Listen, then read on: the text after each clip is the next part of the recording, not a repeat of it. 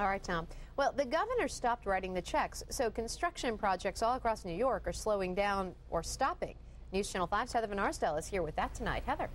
Stephanie, the state stopped funding for capital projects on April 1st, meaning many construction projects across the state have stopped dead in their tracks and won't possibly resume until a budget is approved. Noise you typically hear at this construction site has been replaced by silence. That's because New York State has pulled funding for capital projects while they work out the budget. What is the DOT telling you? They are saying that they've been directed that uh, they cannot pay us.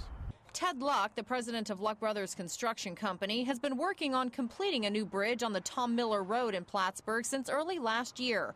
The project was scheduled to finish early, but now the project would have been finished uh, August, probably.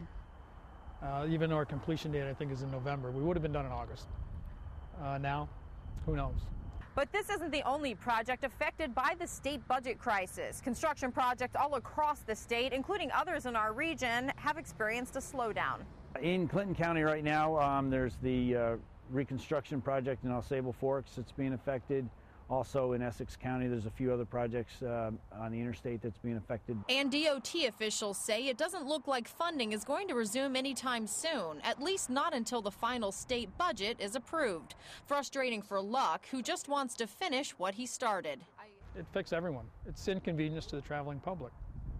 You know, the the two lanes up on top instead of three, and it's yeah, it's not as convenient as if it was finished. Besides being an inconvenience, Luck also says it's affecting the livelihood of his workers. Here we're trying to bump start the economy by putting people back to work, and the state's forcing us to lay them off.